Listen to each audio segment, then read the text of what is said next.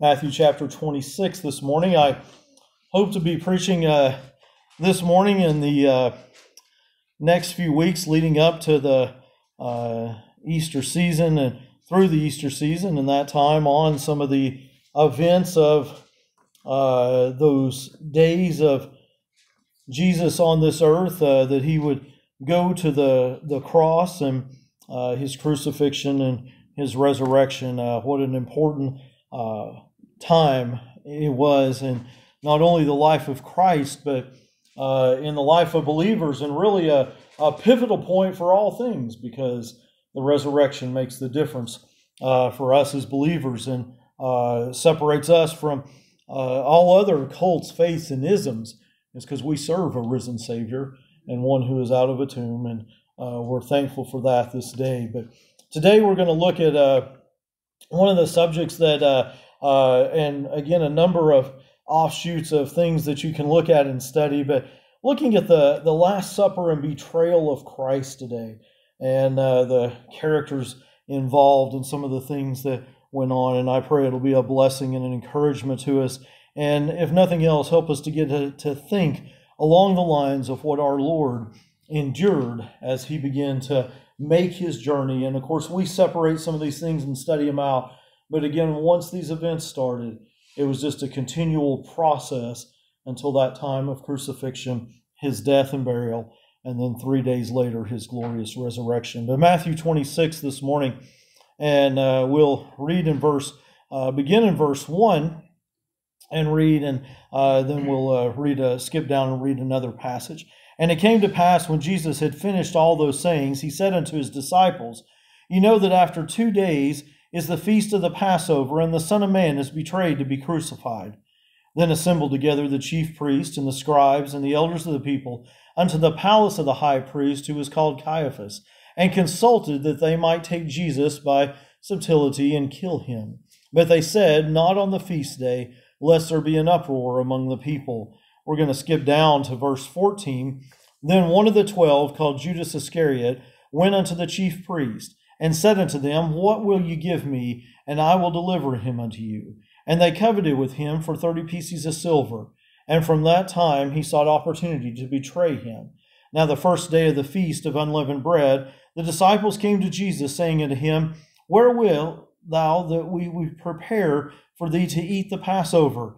And he said, Go into the city to such a man, and say unto him, The master saith, My time is at hand I will keep the Passover at thy house with my disciples. And the disciples did as Jesus had appointed them, and they made ready the Passover. Now, when the even was come, he sat down with the twelve, and as they did eat, he said, Verily I say unto you, that one of you shall betray me. And they were exceedingly sorrowful, and began every one of them to say unto him, Lord, is it I? And he answered and said, He that dippeth his hand with me in the dish, the same shall betray me. The Son of Man goeth as it is written of him, but woe unto that man by whom the Son of Man is betrayed. It had been good for that man if he had not been born. Then Judas, which betrayed him, answered and said, Master, is it I? He said unto him, Thou hast said. And as they were eating, Jesus took bread and blessed it and brake it and gave it unto the and gave it to the disciples and said, Take, eat, this is my body. And he took the cup and gave thanks and gave it to them, saying, Drink ye all of it. For this is my blood of for this is my blood of the New Testament, which is shed for many for the remission of sins. But I say unto you, I will not drink henceforth of this fruit of the vine until the day when I drink it new with you in my Father's kingdom. And then when they had sung a hymn, they went out into the Mount of Olives. And so we uh, read of the account of uh, the last, the Lord's Supper, as we would say, as it was instituted, the Last Supper, as we see uh, the event that's before us, but also uh, the betrayal of Christ, all mingled within that. Let us uh, ask the Lord's blessing upon His uh, word this morning and pray for the service. Our Heavenly Father, we're thankful for the day and for the time we can gather. Thankful for, uh, again, just an opportunity to be in your house. Lord, I ask that you might now just bless the preaching of your word, that you might help me that you might fill me with the power of your Spirit. Help me to preach those things you've laid on my heart. And Father, may be an encouragement to each and every one here. May we see again the things that were uh, that took place uh, leading up to the crucifixion, and uh, just again, Father, may it uh, turn our hearts unto you as we think on those things. We ask that you might, again, just be with the kids' class in the back, just bless and encourage there and help them to learn more about you this day is our prayer. And Father, we ask for your blessing upon this time, and we ask it all in Jesus' name. Amen.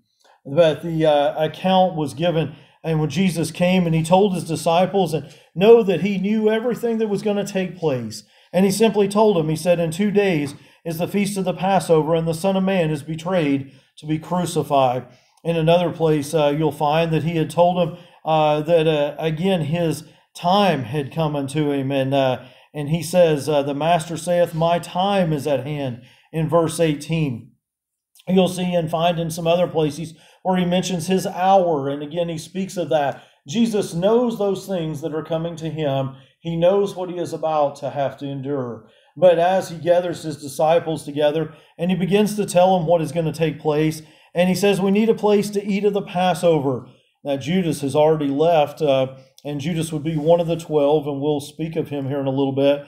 But he goes and he covets with the high priest and, uh, and consults with them, and he says, What will you give me that I might betray him? And they uh, came together with a price, interestingly enough, of 30 pieces of silver and uh, price of a slave if you look that up, but also a fulfillment of prophecy. And we'll uh, possibly read those passages here in a little bit uh, if time permits.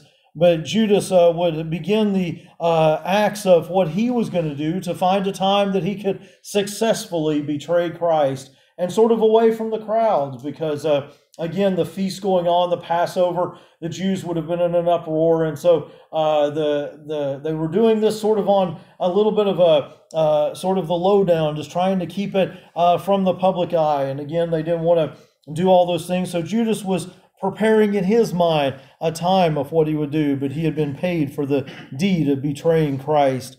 They would uh, come to eat the Passover, and uh, interestingly enough, you know, some man had a room prepared for him because Jesus was going to need it. Uh, that's an interesting thought within that. Uh, he just had a room, he had it, he was going to yield it to them, maybe not knowing who they were, but God had already moved, already prepared those things. The Lord said, It's ready. All you got to do is just go tell this man we need his room to eat the Passover. Somewhere there in the city, there was a man with a house, had an upper room.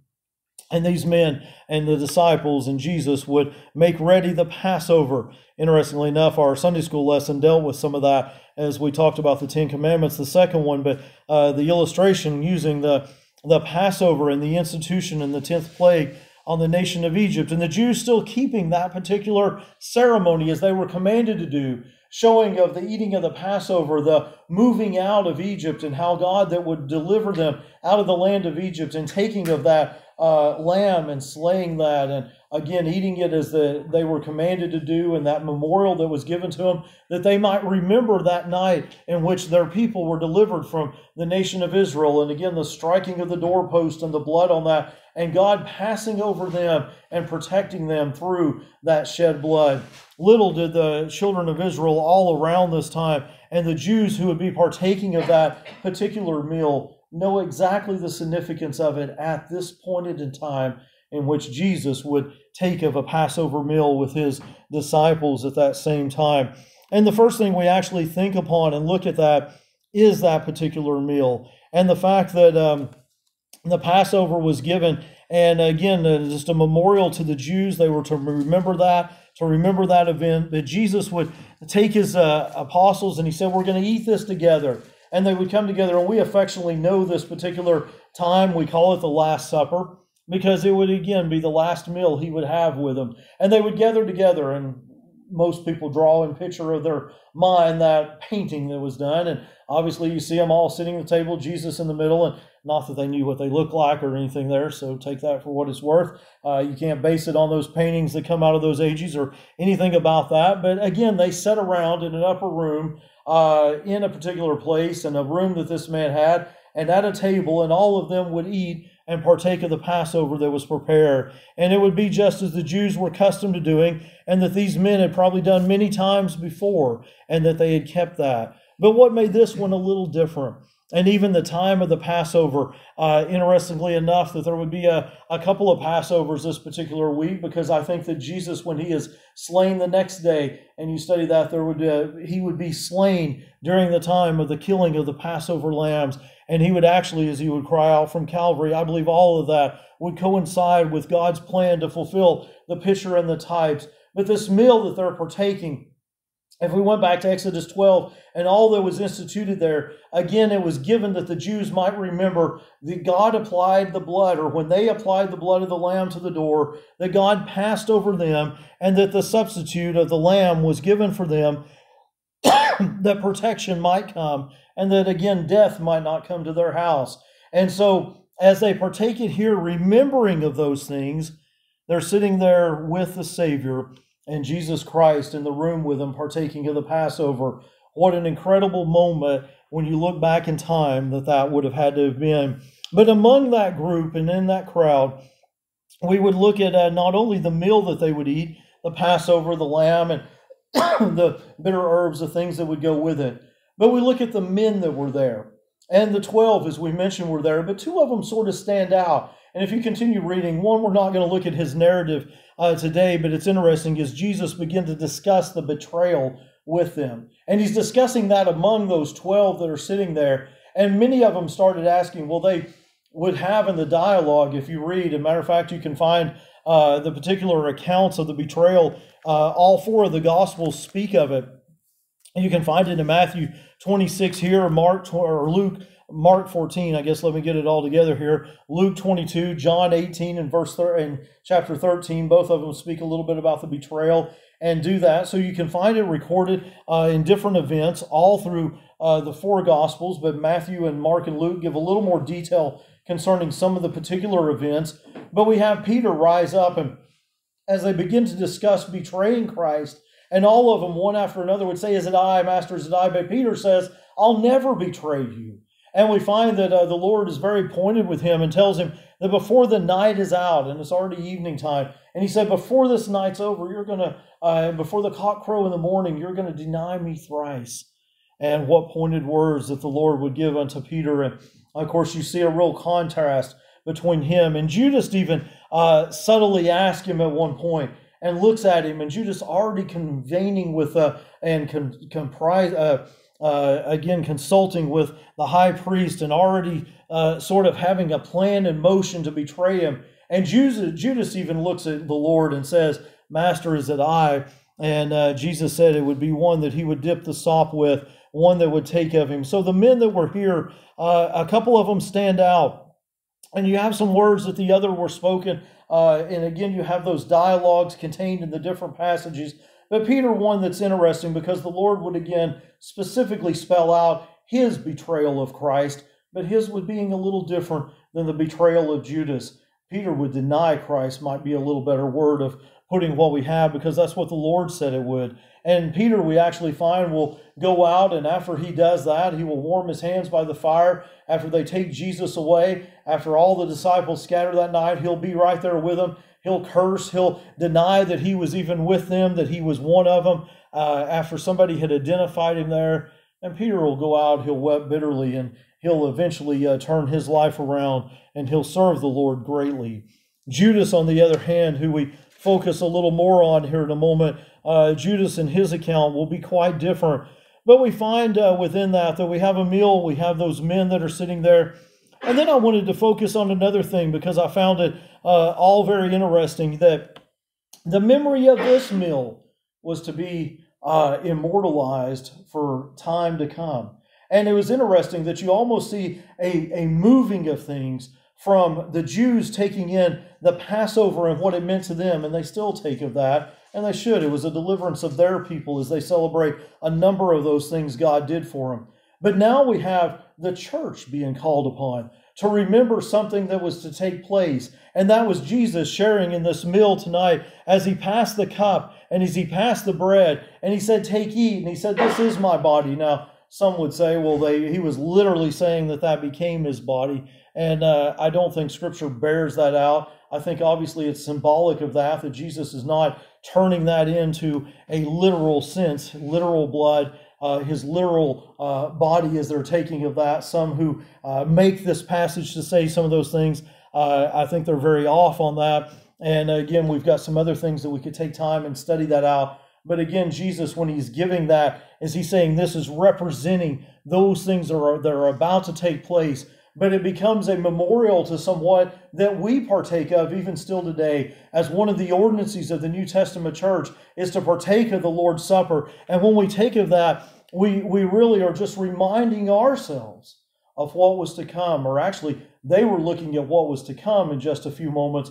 We look back on what took place and that the body that was broken and the blood that was shed and what it provided by for us. And again, just as the Israelites were to in the Old Testament be prepared for uh, service and to be prepared to leave that night. We're to look for the Lord's coming as we take of the Lord's Supper, to be ready to serve and literally have our uh, shoes on and our uh, clothing on that we might be prepared to serve Him till He comes. But I thought, what an interesting transition. And you see it begin here that we leave literally the Old Testament and we take on the New Testament because Jesus Christ, being the testator that would soon die, the, to complete that transaction on the cross where the old would move into the new, we have a new meal of remembrance, if you would, and that being the Lord's Supper that we take of today.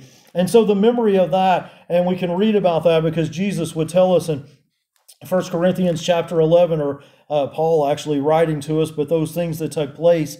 And he said, For which I received in chapter 11 and verse 23 and I read this passage when we take of the Lord's Supper. And he says, For I received of the Lord that which also I delivered unto you, that the Lord Jesus, the same night in which he was betrayed, took bread. And when he had given thanks, he brake it and said, Take, eat. This is my body, which is broken for you. This do in remembrance of me. After the same manner, he also took the cup when he had supped, saying, This cup is the New Testament of my blood. This do ye as oft as you drink it in remembrance of me. For as often as ye eat this bread and drink this cup, you do show the Lord's death till he come. And so we're to remember something new almost as we were given at the Lord's Supper, something that uh, this Last Supper would become the Lord's Supper, and the church was to remember those things and remember the sacrifice that was made there, the atonement that was given, the substitute that would come. As Jesus said, My body and my blood are about to be offered for the sins of the world. And as he was given those things. And so the memory that's given here of these things is something that, again, and we even hold precious today as we partake of the Lord's table and are reminded of those particular things that our Savior would give of those things that he had, his body and his blood, that you and I might have life, much like the Jews were to be reminded of the Passover and the Passover and the blood protecting them. Oh, the blood protects us today if you've trusted in Christ and know Him as your Savior and you've believed upon Him, it was His blood and the shedding of that blood that gives us remission of sins. And as believers, it's really the power that we have that powers us to have victory over death, victory over the grave, a home in heaven. And it's all because of what Jesus did and the substitute He became.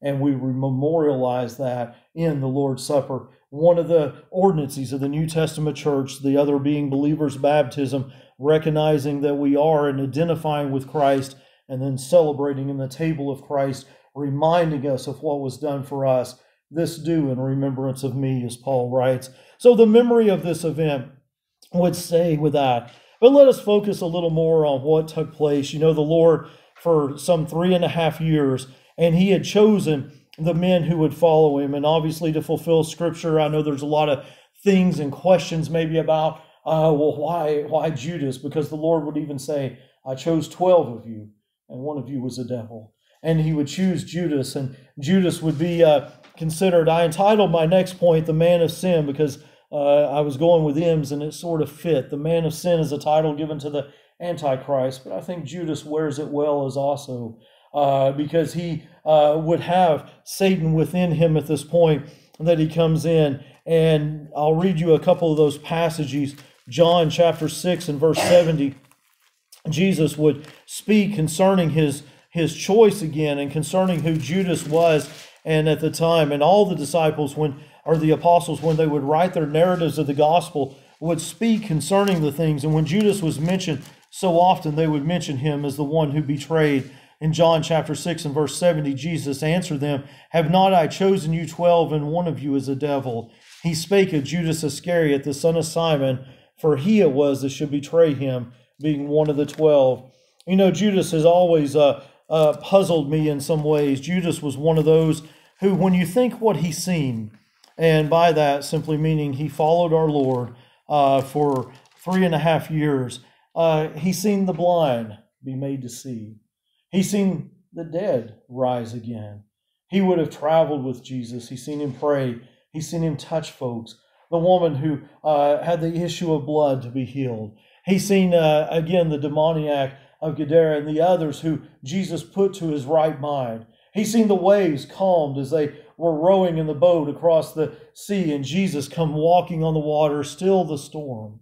He's seen all those things that he's seen. The feeding of the 5,000 the feeding of the uh, other groups on the, the mountainside, and even with the leftovers and the baskets. And one time, 12 baskets left over. There was 12 of them. I think they all carried one away somewhere, home or with themselves.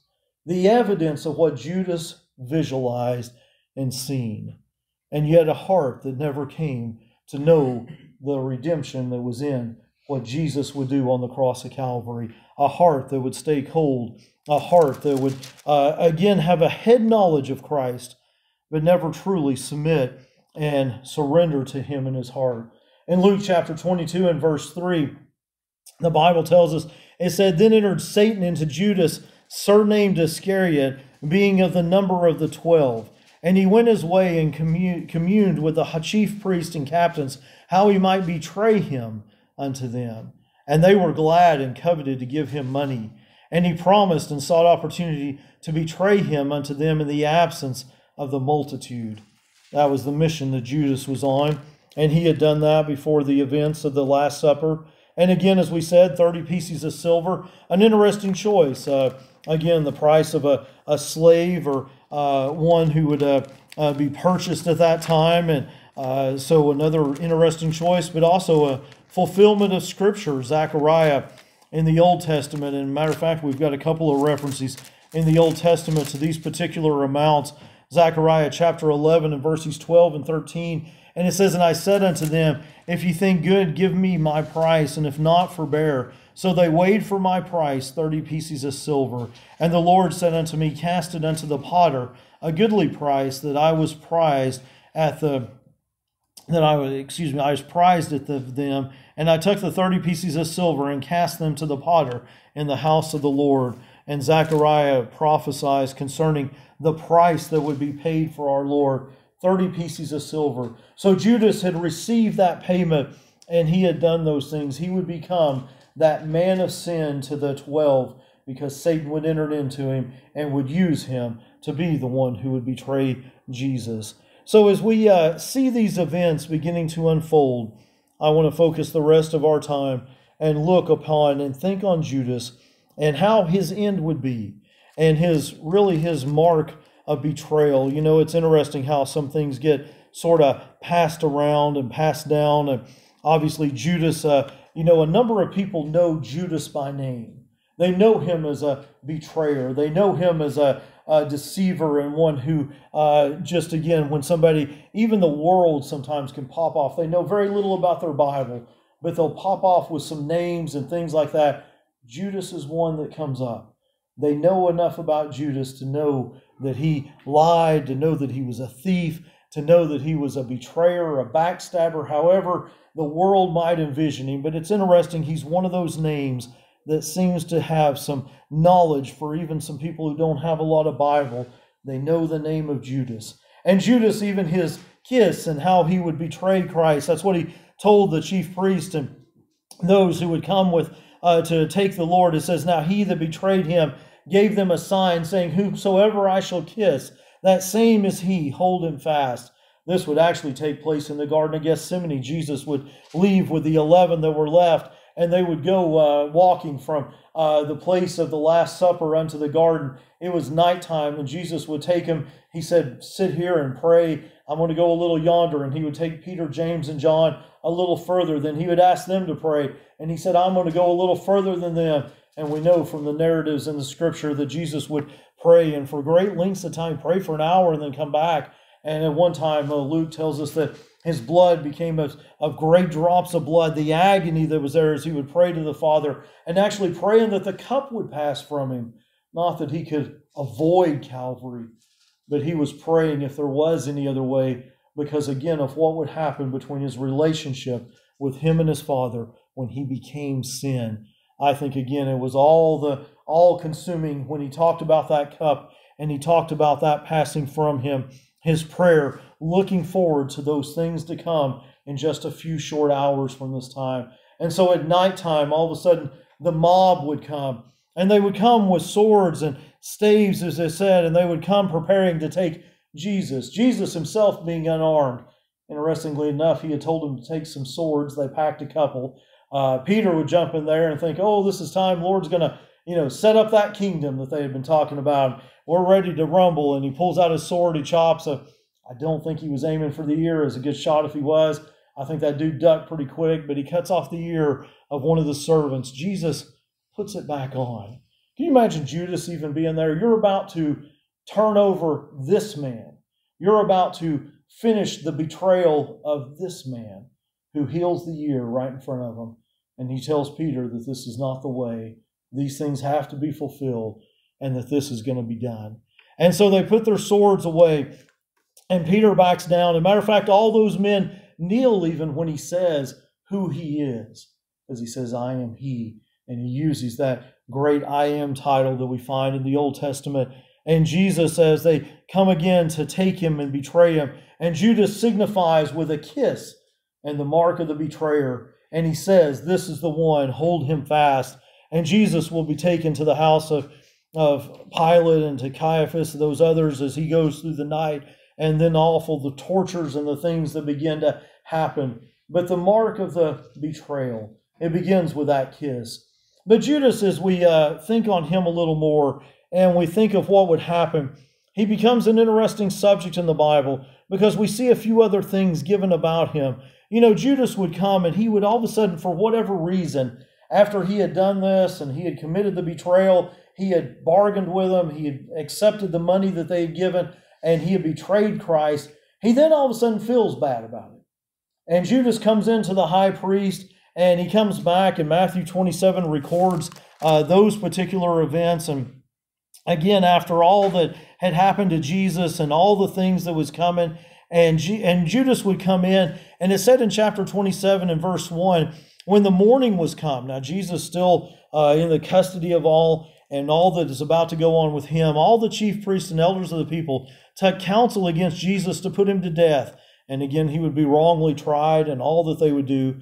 And when they had bound him, they led him away and delivered him to Pontius Pilate the governor. Then Judas, when he had betrayed him, when he saw that he was condemned, repented himself and brought again the thirty pieces of silver to the chief priest and elders. You know, it's interesting here. You see that word repentance, and that is a turn of heart. But notice all that Judas is giving back and all that he is repenting to and all that he is repenting of. And he was doing that to these men here. He was coming and confessing before them. We never see him coming before Christ, confessing Christ. We never see him in a place of acknowledging who his Lord and Savior were. We see him coming before these men and he says that he he's hated that he did this now. He gives them their 30 pieces of silver back. And it says that he brought again the 30 pieces of silver to the chief priests and elders, saying, I have sinned and that I betrayed the innocent blood. He seen that Jesus was innocent. He admitted that. And they said, What is that to us? See thou to that. And he cast down the pieces of silver in the temple and departed and went and hanged himself. And the chief priest took the silver pieces and said, It is not lawful to put them into the treasury, because it is the price of blood. And they took counsel and brought them, and bought with them the potter's field to bury the strangers in. Wherefore that field was called the field of blood unto this day. It was a fulfillment of prophecy. You can read that in verse 9. It says that Jeremiah spoke of the 30 pieces of silver, and again, the uh, condemnation that would come with that and it said that the children of Israel would value that. And it speaks again of another prophecy fulfilled. But Judas came again with a head knowledge, not a heart knowledge. James tells us that even the devils believe on Christ. And even they see some things about that. And yet it doesn't translate to, again, him surrendering his heart. All that Judas seen, all that he did, all that he had before him, the Savior walking among him. And yet Jesus revealed before him, and Judas never trusting in him, never believing on him. He comes with a worldly sorrow and a worldly confession unto the high priest, but never unto the Lord of lords and King of kings, bowing his heart and mind and trusting in Jesus as his Savior. Judas missed it all. He missed uh, the meaning of the Passover uh, with the Jews. He missed uh, the meaning and the institution of the meal that was to become the Lord's Supper, and Jesus saying, Take, eat, this is going to be the, the body, and take, drink, this is going to be my blood. This is what I'm about to do. He missed all of that as Jesus taught him that with the time they walked with him. And he missed the miracles and the things that Jesus did to show the Jews that he was God and to show that his power was coming into this world and that eventually he would be that sacrificial lamb fulfilling the Old Testament prophecies and that he was that Messiah to come. He missed all that he told him that he was the resurrection and the life. Judas missed all of that. He had it here, but not here. Oh, that we might learn some things from that man Judas. And oh, that Judas might be memorialized as much as he is in Scripture, but to realize that there's men today that still have a heart like Judas. May we do our best to reach them, and may they come to Christ and know him before it's everlasting too late. The betrayal of Christ, betrayed by one of his own, and the memory of the things that were to come. Interesting thoughts as we head toward the cross of Calvary from a, the time of the supper taking place in the evening till the next afternoon when Jesus would hang in the balance for all mankind and he would make that substitution for you and I and he would become that Passover lamb that was spoke of in the Old Testament that one that we celebrate in remembrance at the table of the Lord looking back for the blood that was shed the body that was broken in our place. And I pray today that you know him in your heart having trusted him and received the forgiveness that Jesus offers. A home in heaven is ours because of what Jesus did, not because of the things of this world. Judas never found that. He had much given to him, but yet never finding a place to serve the Lord. I pray that we know him today and we take that wonderful message of the truth, the mercy and grace of God, unto all the world and all that we meet. May we tell of Christ and what he did. The beginning, if it is, and Jesus, actually, I guess it's hard to define the beginning, but the events that begin to lead to the what Jesus came to do and the cross of Calvary, they sort of begin to take place here with the Last Supper and the betrayal, and again, all that would follow after that of Jesus' torment and his crucifixion, his burial, and his resurrection. But it makes us who we are as Christians and believers in Christ. Let us stand today with our heads bowed. Do you know him? Have you thought on him and who Jesus is and what he did for us? May we know him today.